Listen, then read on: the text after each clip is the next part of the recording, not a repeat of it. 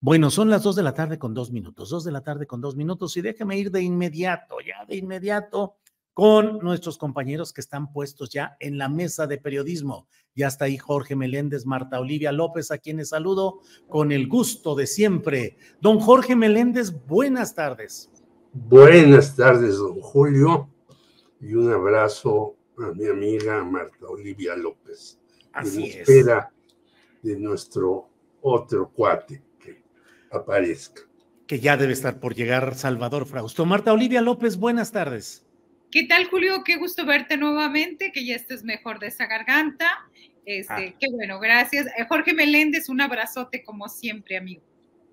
Bien, vamos a empezar. Eh, Marta Olivia, ¿crees que va a declinar Santiago Krill en favor de Xochil Gálvez como se está rumorando con insistencia y se está filtrando, entre comillas, a diversos medios informativos.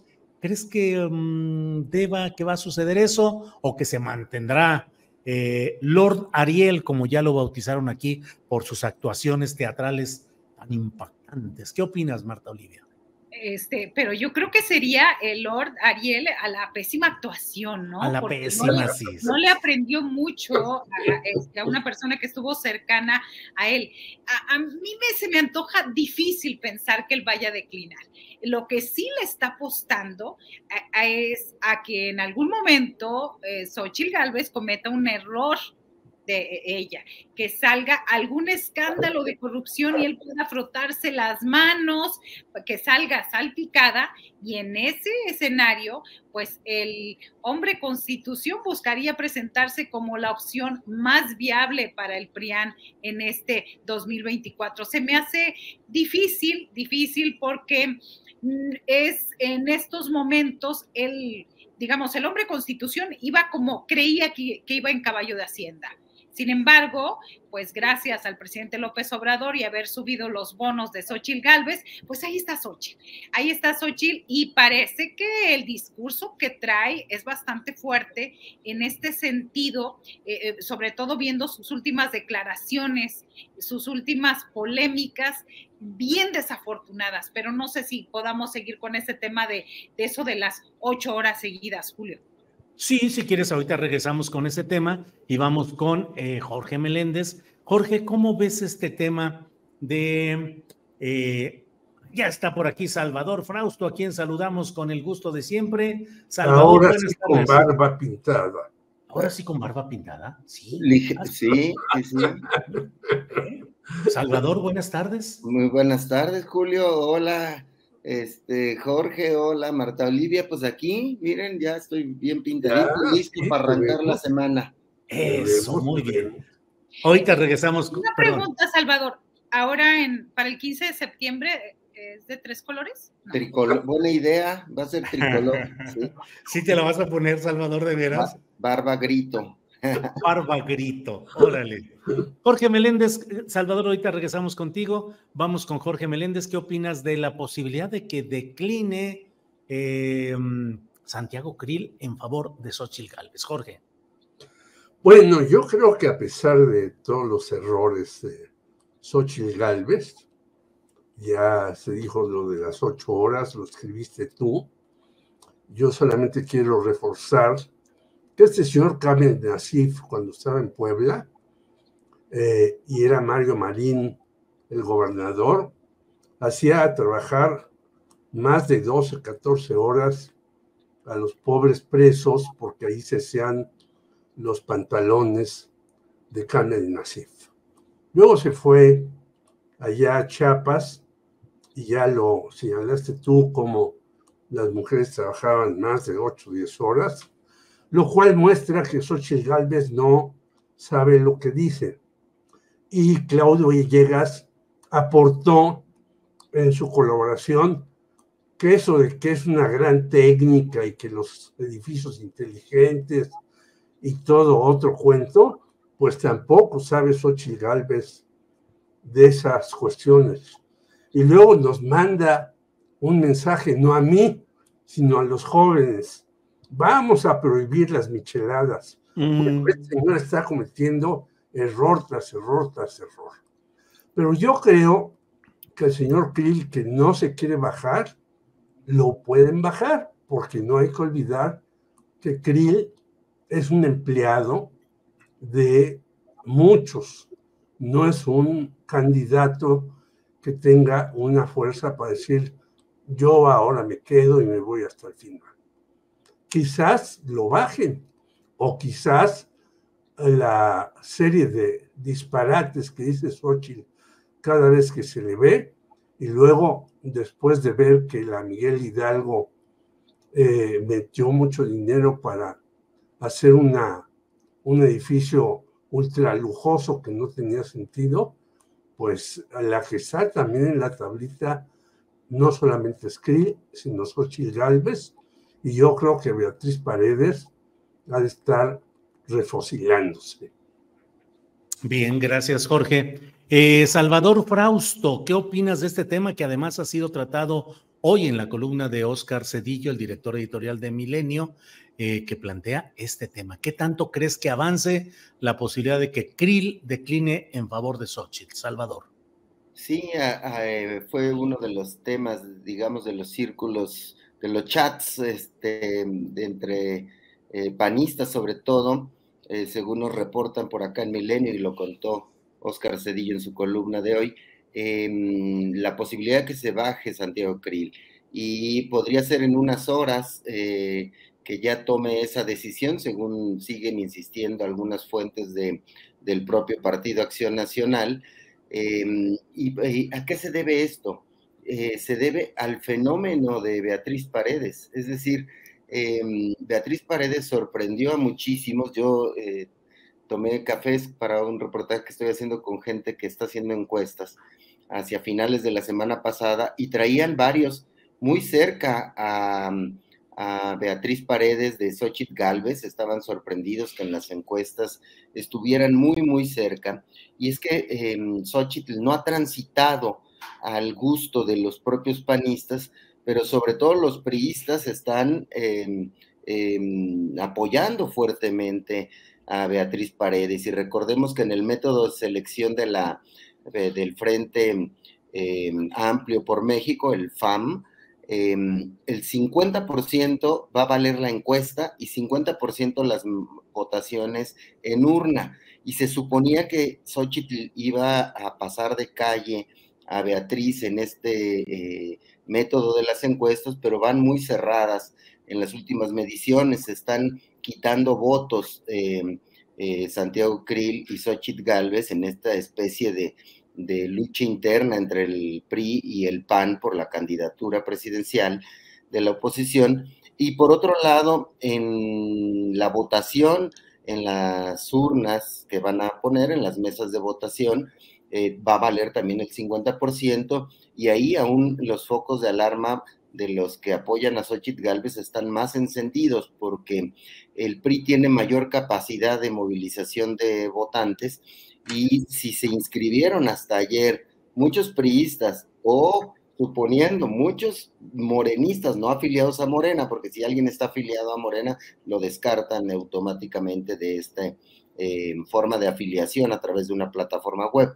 Pero mm, solo contando con los priistas, eh, en urnas y la, con la capacidad de movilización del PRI podrías, de Beatriz Paredes, darles una sorpresa que no tenían contemplada y que mostraría que Alito se habría chamaqueado a Marco Cortés y están preocupadísimos en el cuartel azul por esta circunstancia y ya veremos en las próximas horas si sí declina Santiago Krill para que traten de mover al PAN hacia apoyar a una candidata que no le simpatiza a los círculos más conservadores, la consideran de izquierda. Bien, Salvador, gracias. Eh, Marta Olivia, ya tocaste el tema, así es que adelante con lo de las ocho horas seguidas que dice Xochil Gálvez que no trabajan en el sur del país por cuestión cultural. Marta Olivia, ¿tú conoces esa realidad? Sí, adelante. Pero antes de, empezar con ese tema, quisiera este, subrayar lo que dijo Xochitl de las micheladas, ¿no? Ella mm. aclaró que es este, que son las micheladas ilegales pero al final habla de las micheladas, de prohibir las micheladas para bajar la inseguridad. Y esa es la brillante propuesta de la candidata, de la precandidata o pre, pre, precandidata de la oposición en México. O sea, imaginémonos este país como propuesta para bajar la delincuencia, quitar las micheladas ilegales, porque dice que los muchachos estaban ahí. Un día dice una barbaridad y el otro sale tomándose una caguama victoria para también eh, seguirse ganando o creyendo que eso es eh, simpático y gracioso para los electores y para sus compañeros los panistas. Y, a mí me preocupa. Déjame, Marta Olivia, déjame pedirle opinión aquí a los compañeros Meléndez y Salvador Frausto. ¿Qué opinas, Jorge, del, del de veras se solucionan los problemas de seguridad retirando las micheladas? Pues yo dije que es una barbaridad. Si no, eh, imagínate, eh, yo he recorrido el país, no tanto como López Obrador, pero sí lo he recorrido, y en, tú ves en las esquinas echándose sus chelas.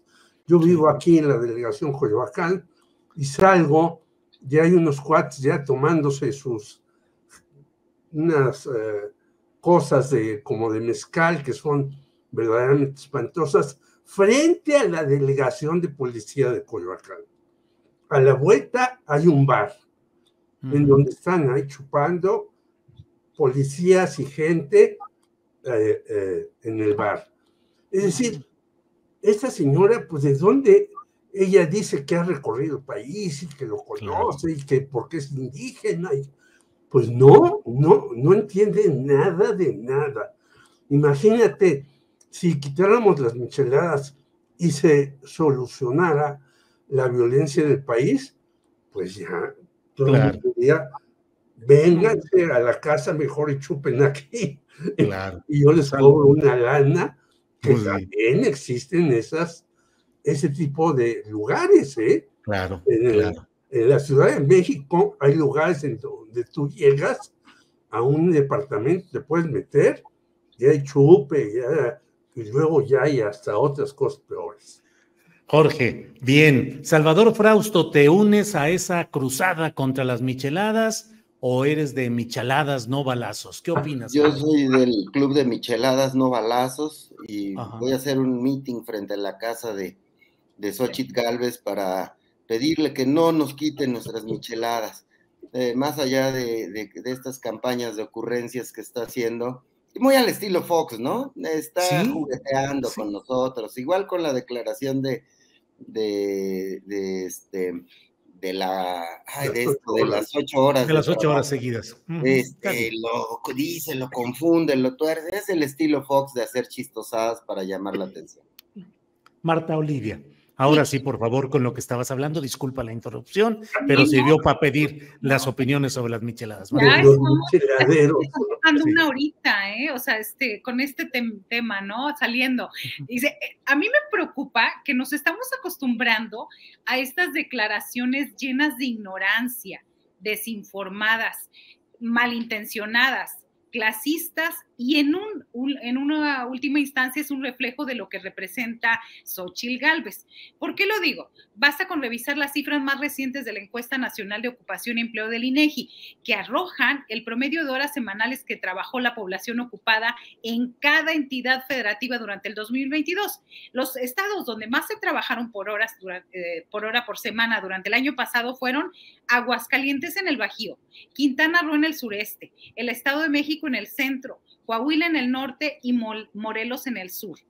Así que e, en estas entidades se trabaja más del promedio de horas trabajadas a la semana por población ocupada en el país, que representan 42.4 horas semanales. Y los datos están a la vista. Una vez, las, una vez más, la aspirante del PRIAN muestra su ignorancia y su dolo para con los sectores con mayores índices de pobreza en el país, como es la población sur de México. Ya lo único que faltaría es que aparezca y cite a su compañero Cuadri, que recordemos en enero del 19 dijo que si México no tuviera que cargar con Guerrero, Oaxaca y Chiapas sería un país de desarrollo medio y potencia emergente. Esta declaración nuevamente la, la descifra, la ilustra de pies a cabeza con todo eso que comenté. Bien, Marta Olivia, gracias. Eh, Jorge Meléndez, ¿qué opinas de ese tema de las ocho horas seguidas trabajando en maquiladoras o no? Y si culturalmente en el sur del país no hay esa predisposición de horario laboral continuo, Jorge Meléndez. Nuevamente, que esta señora no conoce el país. Si tú vas al sur, desde muy pequeños, desde tres o cuatro años empiezan a trabajar los niños. Y algunos ni siquiera pueden ir a la escuela porque tienen que ayudarle a la mamá, etcétera, al papá, en una serie de cuestiones. Según Latín Barómetro, México es de los países que más trabajan en el mundo. Recordemos, los que ya tenemos más años, que antes se trabajaba hasta el sábado, luego se suprimió el sábado, que se trabajaba más de ocho horas, aún la burocracia. Bueno, hay, en la burocracia tú tienes a personas que trabajan mañana y tarde. Entonces, ¿qué quiere decir esto? Que la señora no tiene idea. Dice bien Marta Olivia lo de Cuadri, pero por ahí se señala que ese señor Cuadri, que es el candidato a la Ciudad de México por este frente amplio, que ya no sé si sea tan amplio o tan corto. Entonces, es un despropósito todo este tipo de cosas. Y puede ser, como dice bien mi compañero Salvador Frausto, foxeadas. Pero esas foxeadas antes tenían cierto éxito. ¿Por qué? Porque ya estaban cansadísimos los mexicanos de los partidos que les dieran línea, por esto, línea, por otro. Ahora esas foxeadas cuestan mucho, porque ya la gente, lejos de tomarla como una simple picardía de alguien o una sugerencia o un chistorete, lo toma como una ofensa. Y yo creo que es una ofensa al sur mexicano decirles que trabajan menos de ocho horas. Bueno, pues que vaya un día y se flete con un campesino o una madre campesina que el marido se le fue a Estados Unidos para ver, para que se dé cuenta si no trabajan más de ocho horas ya no digas en una empresa como la de Nasif, sino en el campo. Bien, Jorge, gracias. Em, Salvador Frausto, incluso la propia Xochitl Galvez hoy hizo una, un video donde dice, no inventen, o sea, no me estén sacando de contexto, yo no dije eso, y hace una serie de alegatos que al menos a mí, en mi profunda ignorancia, yo dije, ah, hijo, pues como que está validando lo mismo que ya dijo, nomás lo está fraseando de otra manera y dice, no inventen, no me interpreten, pero pues la esencia de lo dicho, según mi punto de vista, ahí quedó. ¿Cómo viste el desmentido y cómo viste el original, Salvador Frausto? Eh, tuve la misma impresión que tú, Julio, cuando escuché el desmentido, porque cuando salió la frase, eh, empezó a circular la frase de que los chiapanecos no trabajan ocho horas ya, eh, seguidas, em, pues revisé la frase completa y, bueno, le pone algún contexto. Dice, bueno, pero sí pueden dedicarse a otras actividades más reposadas durante otro rato. En su, en su aclaración vuelve a repetir lo mismo. No se da cuenta eh, del clasismo eh, que incluye ese tipo de, frases. Si bien me parece que la motiva estas frases efectistas eh, del foxismo o chistosas, como en el caso de las micheladas, pero en este caso es como frases efectistas, que sabe que va a ir a un foro eh, donde están militantes de la oposición, del PAN y del PRI, que hay empresarios, que ese tipo de frases van a caer muy bien. Se les olvida que ese tipo de frases pues esconden un gran clasismo y además pues una gran ignorancia, porque ya lo, lo se han comentado sobre las horas de trabajo que dedican los mexicanos de distintos eh, estados e incluso de los mexicanos versus otros eh, ciudadanos de otros países. Y me parece que, que Xochitl revela un clasismo tremendo ahí y pues es que se acostumbró a vivir en las lomas, se acostumbró a convivir con, con una serie de, personajes del PAN y del PRI y de, de vecinos y empresarios, y eso pues la fue metiendo en una dinámica en la cual ya no ven lo que hay más allá de esas pequeñas burbujas en las que en las que viven y en las que tienen sus referentes, en las cuales pues afirman con mucha eh, injundia que efectivamente pues eh, los norteños trabajan mucho y los sureños no, no trabajan lo suficiente. Ese tipo de ideas funcionan solamente en esas pequeñas burbujas y muestran un tremendo clasismo. Por otra parte, ese miedo que mm, Xochitl le está causando a la extrema derecha, eh, por mm, ubicarla como la izquierda, eh, nos cuentan, en los, eh, hemos, nos han compartido algunos chats de los panistas y pues les llaman em, que Beatriz, aguas con Beatriz porque estuvo en el foro de Puebla, ¿se acuerdan del foro de Puebla? Una reunión de líderes de izquierda en el 2019, donde hay de varios países de América Latina, y efectivamente eh, Beatriz Paredes participa ahí en ese eh, foro de Puebla como una militante de izquierda de larga tradición y eh, ahorita tratan de asustar a los panistas que ven a Xochitl como izquierdista, como no, no, no, vayan con Xochitl porque la otra señora es más de izquierda que Xochitl.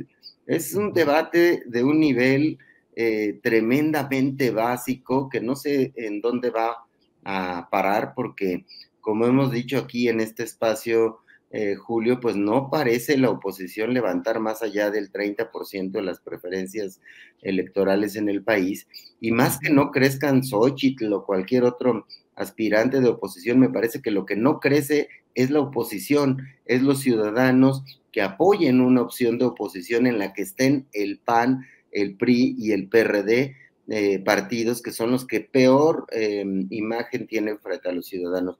Me parece que frente a eso, Movimiento Ciudadano tiene una gran oportunidad que em, va a jugar ese cartucho en los siguientes meses. No creo que tengan prisa por jugarlo, pero ellos tienen que jugar ese, ese tiros de precisión frente eh, a estos em, prianistas que están hechos bolas y no sabemos cómo va a terminar su elección Em, del Frente eh, Corto por México.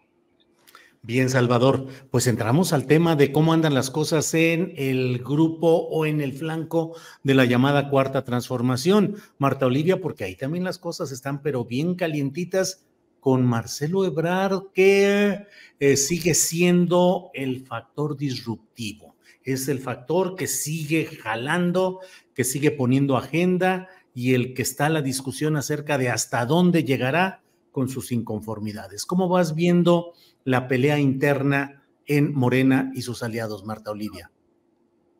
Sí, eh, creo que, y me parece muy sano que haya diferencias entre los aspirantes de Morena, el, PT y el Partido Verde. Incluso, incluso yo digo, este, a mí me hubiera gustado que se hubieran llevado a cabo debates entre los aspirantes para conocer sus propuestas en temas importantes como seguridad, economía, educación y derechos humanos. Sin embargo, pues sabemos que como es una pre, pre, pre, pre, pre campaña, pues no, no, no, esto no fue posible. A mí me parece que lo que llama la atención es la postura de precisamente Marcelo Ebrard. Yo lo veo como eh, eh, que está posicionando un mensaje desde ya de justificación de derrota. Eso me parece. Este, y se, se, está presentando ante la opinión pública como un aspirante bien intencionado y el mejor preparado, pero al que ya le hicieron trampa. Ese es el mensaje que yo veo. Eh, ha dicho que hay una cargada oficial hacia la jefa de gobierno de la Ciudad de México con licencia, Claudia Sheinbaum. Ha señalado a la Secretaría de Bienestar y a las estructuras de esta dependencia, con lo que creo que el exsecretario de Relaciones Exteriores busca imponer en el debate público la idea de que él juega limpio y, y que él ha jugado y que juega limpio, pero que las condiciones preexistentes le han impedido avanzar e incluso llegar a ser candidato de gobierno. Por otra, pues a mí me, yo lo he escuchado y he tratado de darle la vuelta a eso. Me parece que ha sido que no alcanza, que puede estar ya más cerca, pero no creo que supere, y de acuerdo a todas las encuestas que se han hecho ahora, no creo que supere a Claudia Sheinbaum. Bien, gracias Marta Olivia. Eh, Jorge, ¿qué opinas de cómo va la bataola, el pleito, la batalla adentro de la 4T por la candidatura 2024. ¿Cómo ves, Jorge? Bueno, aunque se enoje y ya lo entrevistaste el señor Gerardo Fernández Noroña, yo creo que este pleito es de dos y que ya lo ganó Claudia y no lo ganó ahora, lo ganó desde hace mucho, cuando en 2021 le levantó el brazo López Obrador diciéndole, pues es él. Y Marcelo, que es un hombre pues muy enterado y muy movido y todo eso, empezó a hacer una serie de cuestiones, entre ellas por lo que lo multaron en el Instituto Nacional Electoral por sus propuestas, ¿no?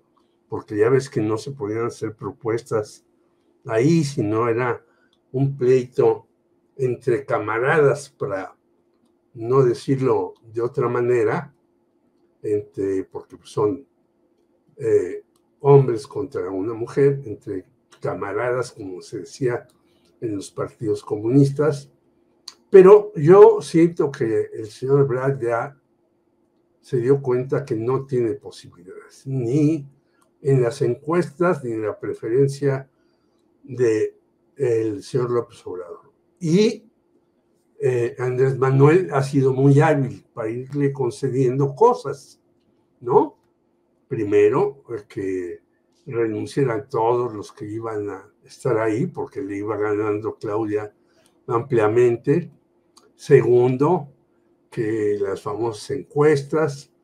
Tercero, que tenía razón en protestar, porque, bueno, en una competencia, alguien que siente eh, menospreciado, que tiene razón en protestar, y en fin. Pero Marcelo lo que quiere es jalar la liga hasta donde pueda, y yo creo que va a aceptar el resultado final, no lo veo ni en el movimiento ciudadano, pues mucho menos en, el otro lugar donde el, pleito es enconadísimo, pero ha sido eh, hábil para ir jalando el hilo, jalando el hilo, para tener mayores posibilidades de poder eh, posicionar a gente de su equipo y demás y posicionarse para poder ser el candidato a senador y después en el gobierno de Claudia Sheinbaum ser el líder del Senado, como lo fue en Monreal. ¿Qué pasará después? Pues quizás le pueda suceder lo mismo que a Monreal, que en un momento dado lo desconozcan y quién sabe qué haga. Pero yo no creo que se vaya de Morena. Bien, Jorge. Salvador Frausto, ¿cómo ves los temas de la 4T y sus candidaturas o su candidatura presidencial? ¿Y cómo ves si Ebrard está estirando hasta romper la liga nada más es estirar para luego negociar algunas otras cosas? ¿Qué piensas, Salvador? Eh, eh, yo coincido con la, visión de Jorge de que va a estirar la liga lo más posible, em, pero no, no hasta romperla me parece que su papel es eh, adecuado, es el papel del segundo lugar, el papel del retador em, que está abajo en el marcador. Si estuviéramos hablando de fútbol y tienes, te quedan pocos minutos para meter un gol, pues mandan hasta el portero a rematar, ¿no? Aunque dejen descubierta la, la portería. Yo eh, em, veo a, Marcelo jugando en el, en el, en línea, como dicen, ¿no? En el offside.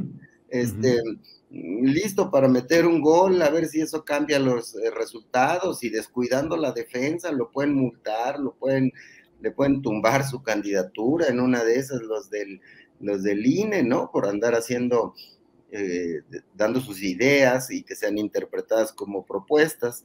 Em, me parece que es legítimo, es decir, porque Marcelo está en zona de competencia, es decir, está 10 puntos abajo más o menos en promedio en las, eh, eh, lo que traen las encuestas y pensando en los márgenes de error, pensando en que van a ser encuestas muy amplias eh, en el país, las que se van a levantar por parte de Morena, con candados como cuatro de encuestadoras ahí correteando a la encuestadora de, de, este, de Morena, con toda la comitiva de enviados de cada uno de los de las corcholatas. Es decir, es válido jugar hasta el último minuto y sabemos en política cómo juegan sus tiempos los morenistas. Me parece que es algo parecido a como lo jugó eh, eh, Ricardo Monreal en otro periodo de tiempo, ¿no? ¿Se acuerdan que de, jugó a estirar, a estirar la liga, estirar la liga? Y de pronto, bueno, pues ya lo aceptaron como corcholata y dijo, pues yo hasta aquí soy rebelde, ahora soy disciplinado. Y ahora es el más disciplinado. Le cede su encuestadora a Marcelo, todos los días habla bien del presidente López Obrador y del movimiento. Es decir, eh, estiró la liga a ver hasta dónde le daba y pues ya tiene que jugar con las reglas existentes, no son unos novatos. Me parece que Marcelo está jugando una circunstancia similar y eh, pues si pensáramos en que quisiera más votos del lado de Morena, parecerían equivocadas sus apuestas arriesgadas, pero no le quedaba de otra. Es decir, no me parece que a los votantes morenistas o los más eh, férreos obradoristas les parezca bien que estén criticando las encuestas, que estén señalando lo de las bardas con insistencia.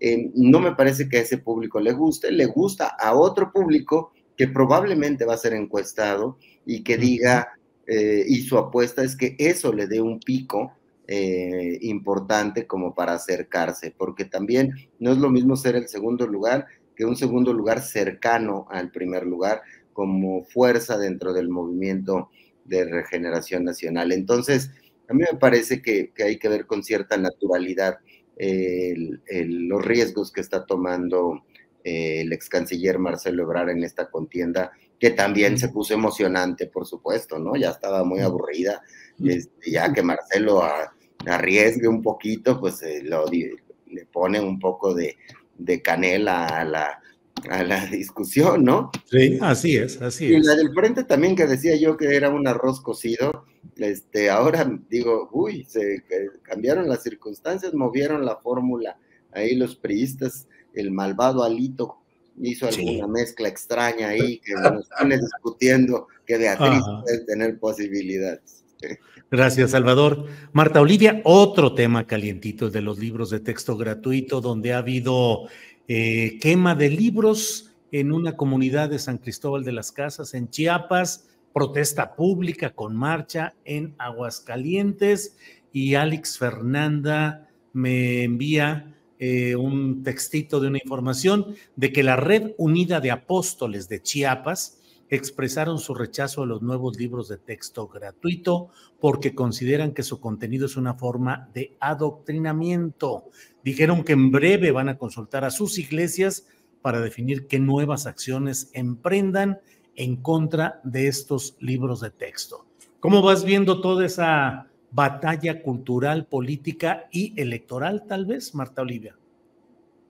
Sobre todo lo último, política y electoral, Julio, eh, eh, nos estamos acercando a una peligrosa estrategia de la derecha y de los sectores más conservadores aliados con el PRIAN, en la que buscan a toda costa sacar raja política de un tema central para la sociedad como es la educación pública, sin argumentos, sin evidencias, con noticias falsas y con descalificaciones. Es como estos sectores están buscando influir en los padres de familia y maestros para que se unan a estos hechos, a estas amenazas inexistentes que le representan los libros de texto gratuito. Y hay que decirlo, el riesgo, el riesgo no es menor conforme se están acercando las campañas políticas, estos sectores de la ultraderecha están apelando al enojo y al odio, como siempre lo ha sido tradicionalmente la derecha. Y bueno, eh, este sector que ha sido menospreciado y quieren a toda costa frenar el avance de la cuarta T y del proyecto de Andrés Manuel López Obrador, siguen utilizando este tipo de mentiras y descalificaciones, todo, todo tendiente a ganar votos para el próximo año, en el 2024. Y yo quiero ser reiterativa en esto, no olvidemos lo que pasó en 2016 en Estados Unidos, donde un empresario mentía diariamente, denostaba constantemente a su rival para hacerse votos y al final la estrategia de Trump funcionó y, con esto nos dimos cuenta que no siempre gana la elección presidencial el candidato que recibe más votos. En el caso de Estados Unidos, el que ganó los votos en el colegio electoral y encabezó una de las peores administraciones de la historia estadounidense.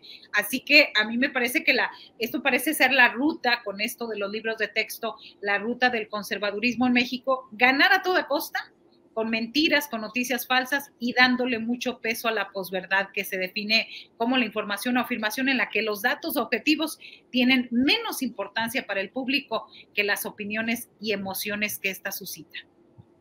Bien, gracias Marta Olivia. Eh, Jorge Meléndez, están los dos eh, flancos muy activos. Por un lado, estas protestas contra los libros de texto de las que ya hemos hablado, las enumeré antes de, que Marta Olivia analizara el tema. Y por otra parte, también activistas, eh, diputados de Morena o de la izquierda o el progresismo que están haciendo también activismo para decir que se repartan los libros de texto gratuito. ¿Escalará este tema, Jorge Meléndez, hacia algo más eh, complicado, más um, confrontacional? ¿O puede ser que solo sea material de temporada y pronto baje el nivel? ¿Qué piensas, Jorge?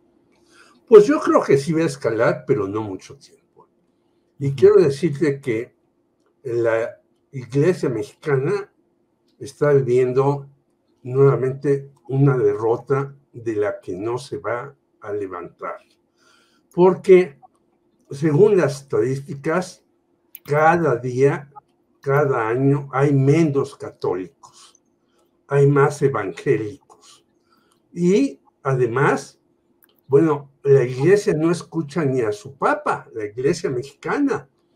Cuando le dicen al Papa Francisco, ¿qué opina usted de los homosexuales? Él dice, yo no soy nadie para juzgarlos. Es decir, está diciendo, hay que ser más liberales. Cuando la iglesia mexicana aplaude la casa de los famosos con Wendy y al día siguiente empieza a quemar libros y empieza a decir que no entren a tal lugar, que no entren a tal otro, está casi, casi dándole una entrada a Verástegui a, a una candidatura independiente, pero también está dando, le está sonando a Xochitl Galvez y también está sonando a muchas partes de los jóvenes que ya no son católicos, que pueden incluso en una encuesta decir que sí son católicos. Pero en estas encuestas, Julio, y compañeros les preguntan, ¿es católico? Sí. ¿Va a misa? No.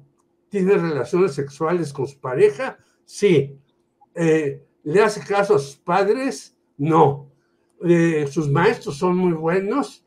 Pues no, los pongo en duda, etcétera. Esta nueva juventud está poniendo en duda todo, entre ellos a los partidos políticos y desde luego a la iglesia, porque ya los obispos y los demás personajes que están ahí en la jerarquía no tienen ninguna influencia real en la juventud. Claro, la iglesia quiere congraciarse como siempre lo ha hecho con los factores reales de poder y por eso sacaba lo de Wendy. Yo jamás vi un capítulo de la Casa de los Famosos porque desde que vi Big Brother dije, ya vi todo eso. Y de repente, esa persona transexual gana, ¿y qué dice la iglesia? Se queda absolutamente callada y dice, mejor no me peleo con Nascar Gallán, porque él también tiene cola que le pisen, y entonces es una doble, yo diría hasta triple moral.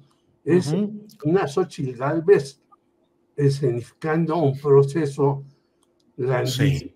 Entonces yo creo que va a venir una bronca con la iglesia, sí, pero que no va a ser de gran calado como antes era en México. Bien, Jorge. Salvador Frausto, con la iglesia hemos topado en tiempos electorales, es decir, la iglesia o los grupos conservadores encontrarán aquí una buena plataforma para eh, posicionarse de mejor manera en el ámbito electoral.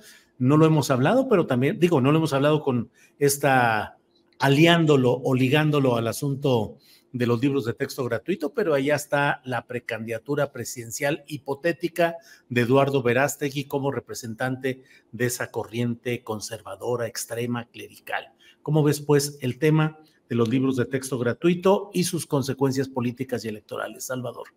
Sí, como sabemos, todo lo ideológico es político. Eh, y en ese sentido, el, eh, la movida o la jugada de las iglesias en México, de empresarios conservadores, de la Unión Nacional de Padres de Familia, que está en el centro de la coordinación de esta eh, campaña contra los libros de texto, que está pues tripulada, controlada por el Yunque desde los años eh, 70 por lo menos, bueno, desde los 50 eh, ha habido mm, intervención de estos grupos en, la Unión Nacional de Padres de Familia, pero el grupo, digamos, que conocemos que domina el yunque, lo controló eh, desde los años 70. Entonces, em, lo que hemos visto son expresiones de las iglesias, tú comentabas una de una iglesia, me parece que evangélica, que dice vamos a revisar esto y vamos a protestar contra estos malvados libros que van a arruinar y pervertir a los, a los eh, niños y los van a hacer comunistas y van a comer cristianos y no sé qué más puedan hacer los niños comunistas. Em, eh, y por otra parte, las declaraciones desde el púlpito del obispo de Aguascalientes de hace unos em, días, en, los, en la cual también llama a desobedecer eh, y no, hacerle caso a los libros de, texto. Es una jugada en la cual las iglesias, eh, los círculos más conservadores del país, están moviendo a sus bases eh, para alertarlas, para tratar de movilizarlas y ponerle una piedra en el zapato al presidente López Obrador y a su proyecto educativo, pero me parece que em, igual va eh, dedicado a un pequeño círculo en el cual apoyan este tipo de, gestiones y de rebeliones que no va a hacerlos crecer en, simpatizantes, sino va a reforzar más bien eh, sus militantes más radicales que ya estaban con los brazos caídos, eh, porque han escuchado durante cinco años que López Obrador es muy popular, que nadie le puede ganar, han visto frente a sus ojos, a Morena ganar 23, em, ya van a ser 24 gubernaturas cuando tome posesión eh, Delfina Gómez, 24 em, de 32, Sí. Es decir, eh, la mayoría de los congresos locales, la mayoría del Congreso Nacional, es decir, mm, la fuerza del obradorismo es inédita, a veces olvidamos platicar eh, sobre eso frente a las minorías que quedaron muy rezagadas ya sin los recursos del poder y el acceso al poder que les daba el, PRI o el PAN. Es decir, sin esos recursos, sin esa visibilidad, están reducidos a su, a su expresión real y em, no parecen poder eh, mejorar su posición y ayudar a la, a la derecha eh, a mejorar su, rendimiento electoral. Entonces, pero sin duda, pues es una jugada atrevida, arriesgada, donde hay además mucho dinero eh, por parte de empresarios que pues los empresarios a lo mejor ni siquiera les interesan los libros de texto, sino sentarse con el gobierno para obtener nuevos contratos, probablemente eh, contratos que hayan perdido recientemente, Julio. Bien, Salvador, gracias. Marta Olivia, ahorita repasábamos un poco la idea de Eduardo Verástegui, que está ahí pendiente. Luego hay quienes incluso me han recriminado aquí en las redes, me dicen, tú eres el que lo está promoviendo, tú le das demasiada tribuna, pero yo creo que es una realidad que está ahí, la de esa posibilidad de Verástegui. ¿Cómo has ido viendo ese desarrollo y si crees, Marta Olivia, que una candidatura como la de Eduardo Verástegui llenaría el espacio de quienes quieren un conservadurismo extremo al estilo de Vox en España, al estilo del trompismo republicano en Estados Unidos. Marta Olivia. Eh, Julio, yo pienso que, que, en efecto este, no se sabría mucho de Verástegui si no fuera en, ciertos espacios, porque acá en Tamaulipas se sabe, este, no vive aquí desde hace muchos años, se fue de 17 años, no tiene presencia, su familia es de las familias caciques de la zona cañera, donde hicieron cerrar un ingenio, entonces no, al menos este, en su tierra es un desconocido. Ahora, lo que sí es importante, y, retomo un poco lo, lo del tema de de la iglesia, de, cómo se manejan estas cosas. E, en, en el último censo del 2020, 77.7 de los mexicanos decía que era católico. Claro, 19 puntos menos que en 1980, pero es relevante, es importante que la presencia ahí está. Entonces, en ese sentido, creo que Eduardo Verástegui va a venir solamente a medio mover algo, a ofrecerle algo a, Lili Telles, que ya lo hizo, va a venir como que a mover un poco y creo que puede abanderar esto de los libros de texto por ahí, por alguna parte, pero tener así como una figura carismática, interesante de propuesta o algo distinto a lo que ya ofrece la derecha en México, me parece que no, es mi apreciación.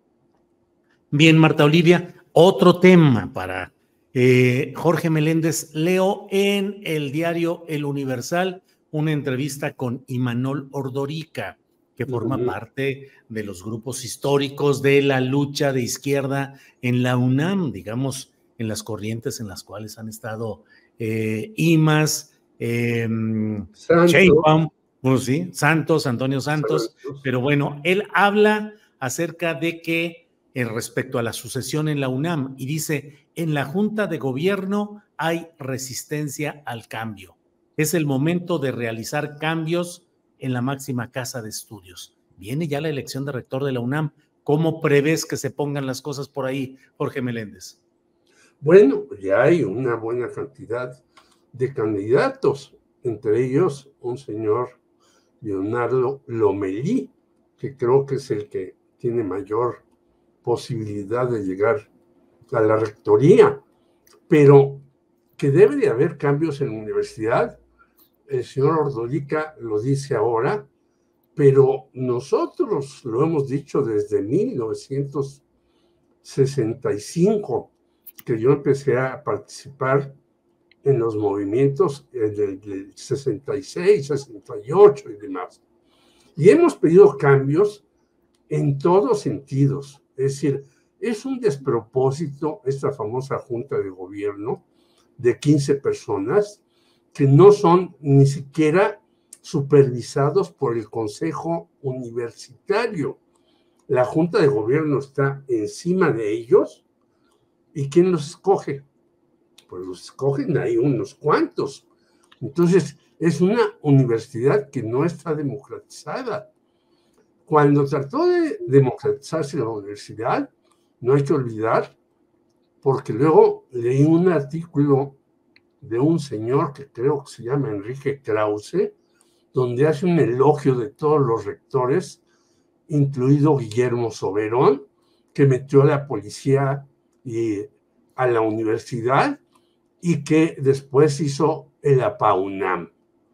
Entonces, no todos los rectores han sido buenos en la universidad, no todos los rectores han sido Javier Barrosierra o Pablo González Casanova. Y está el otro señor que también es muy gritón y está en el Frente Amplio, Francisco Barnés de Castro, que quería llevar las cuotas. Entonces, ¿qué hay necesidad de hacer cambios en la universidad? Estoy totalmente de acuerdo. Y yo eh, este, conocí muy bien a los tres reyes magos que les decían que era el señor Antonio Santos, el señor Imanol Ordorita y Carlos Simas, que eran realmente el trío que manejaba la huelga no estuvo Claudia Sheinbaum. Y es el momento de hacer cambios en la universidad. Yo creo que no. Viene la sucesión en la rectoría, pero sí hay que hacerlos, y no solamente hay que hacerlos para elegir rector y directores y demás. Yo lo he dicho aquí, pero insisto en ello, Julio. Sí. Es el momento de pagarle bien a los profesores universitarios, que muchos de ellos ganan de 1.600 a 4.500 pesos. Y luego si te vas a jubilar, te vas a jubilar con 4.500 o 6.000 pesos después de dar 30 años clase, bueno, pues es un horror. Hay que hacer cambios en muchas cosas. Coincido con Manuel, pero él se ha montado en la dirigencia universitaria. Él es ahora un directivo. Bien, Jorge, gracias. Salvador Frausto, son temas sueltos. Eh, no sé, llama la atención mucho este asalto a la casa de Miguel Bosé, el gran cantante español, avecindado en México, que entraron 10 personas a una zona de alta protección, de esos eh, condominios con una enorme vigilancia, con personal armado, videocámaras y todo. Y de pronto, eh, ¿cómo sientes el ambiente, Salvador Frausto, en la Ciudad de México? Que todavía no se calienta rumbo a la sucesión de la propia jefatura de gobierno, que también va a ser muy peleada, pero ya con este tema de Bosé, hay quienes dicen, pues es que hay un clima de inseguridad en la Ciudad de México. Hay quienes ya le están dirigiendo las baterías en contra a García Harfuch. ¿Cómo ves este tema, Salvador? Sí, bueno, llama la atención el tipo de, asalto, por supuesto.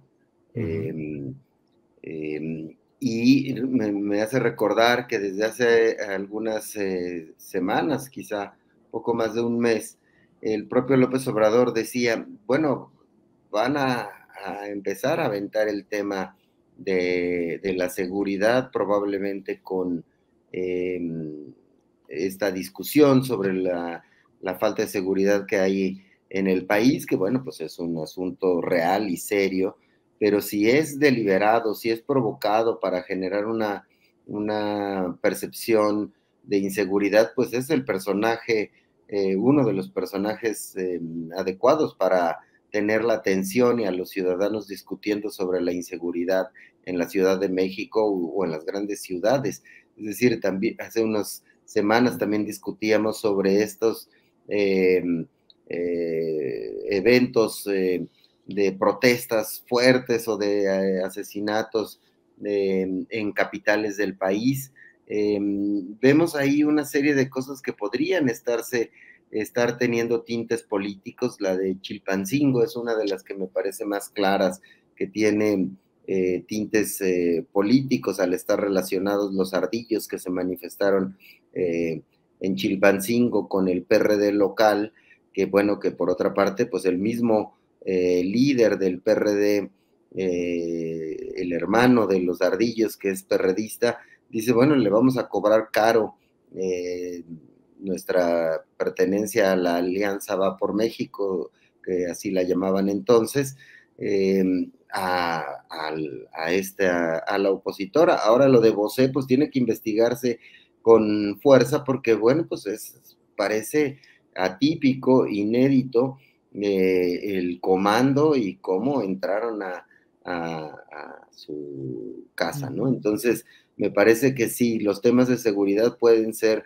eh, un factor para desestabilizar eh, la cuestión política en nuestro país. Recordemos casos que atraparon a la, a la ciudadanía, como el caso de Paco Stanley y otro, otros casos de este tipo, que llaman muy poderosamente la atención, aunque haya circunstancias similares eh, de delincuencia cuando se tocan a personajes públicos, puede haber reacciones Em, o mayor atención a los asuntos. Eso no quiere decir que no haya que reforzar las medidas de seguridad en la Ciudad de México y en todo el país y que eh, se trabaje diariamente en, en mejorar estas circunstancias. Bien, Salvador, gracias. Marta Olivia, son las dos de la tarde con 55 minutos, estamos ya en la parte final del programa, se fue como agua. Así es que, Marta Olivia, postrecito, el tema que quieras agregar, reflexión, comentario, lo que desees, Marta Olivia. Sí, el postrecito tiene que ver con una recomendación de la Comisión Nacional de Derechos Humanos, hablando de las cuestiones de seguridad. Recordemos que el 18 de mayo eh, pasado se hizo viral este video donde se observa cómo este, militares detienen a cinco personas y las ejecutan ahí, pues ahí muy claramente. Hoy la Comisión Nacional de los Derechos Humanos está emitiendo esta recomendación tanto a la Secretaría de la Defensa Nacional como a la Fiscalía General de la República por violaciones graves a derechos humanos y privación arbitraria de la vida en el caso de estas cinco personas. Así que eh, me parece que es una buena señal, una buena señal porque en la medida que se castiguen los delitos y se, eh, pues, se termine la impunidad, pues van a dejar de suceder este tipo de, situaciones, sobre todo en un estado tan complicado con temas como eh, de la seguridad como Tamaulipas. Julio, con eso me despido. Bien, Marta Olivia, muchas gracias. Jorge Meléndez, postrecito, por favor. Yo creo y felicito a Bernardo Arevalo, mm. Hijo de Juan José Arevalo, que inauguró Juan José en 1944 un periodo eh, democrático y liberal en Guatemala, que lo continuó Jacobo Arbenz hasta 1954, donde vino el golpe de Estado propiciado por los Estados Unidos y sacrificaron a Jacobo Arbenz. Y desde entonces la situación en Guatemala es desastrosa, verdaderamente desastrosa. Han matado decenas de miles de personas, de ahí vienen los caibiles, este grupo que reforzó a los Zetas, y ahora que haya ganado Bernardo Arevalo, esperemos que el Poder Judicial respete su triunfo y pueda ser así. Esto va a ser un triunfo también para México, para el programa Sembrando Vida de López Obrador. Y hay que decir que cuando yo fui compañero de una hija, o sea, una hermana de Bernardo Arevalo, en la Facultad de Economía, que según me dicen, ahora está casada con el gran marxista e historiador Enrique Semo. Entonces, para mí, este triunfo de Bernardo Arevalo con 58% de los votos me da mucho gusto y me parece que empodera un pensamiento liberal, democrático y de izquierda. Bien, gracias Jorge Meléndez. Salvador, para cerrar este programa, por favor, postrecito final, final. Bueno, pues estar ah, atentos a, las señales que dé el frente mm, opositor. Eh, me parece interesante cómo se va a mover la, contienda en caso de que se confirme eh, la declinación de Krill en favor de, de, de Xochitl Galvez o que se les enrede el engrudo también en el cuartel azul y no logren sacar esos, esos acuerdos, eso va a decir mucho de la, de la contienda y pues se pone emocionante em, saber quiénes van a ser los aspirantes presidenciales. Ya estamos a siete, seis días de que se empiecen a levantar ambas encuestas, de, tanto del el lado de Morena como del lado opositor. Y bueno, pues ya lo que hagan o dejen de hacer en estos em, días, pues en cuenta más lo político que la exposición pública que puedan tener los, los aspirantes presidenciales. Y eso, bueno, pues define buena parte de la discusión eh, política en nuestro país en los siguientes eh, días, eh, Julio. Salvador, muchas gracias. Marta Olivia, igualmente. Jorge, gracias a los tres y nos vemos la próxima semana. Gracias. Hasta, pronto.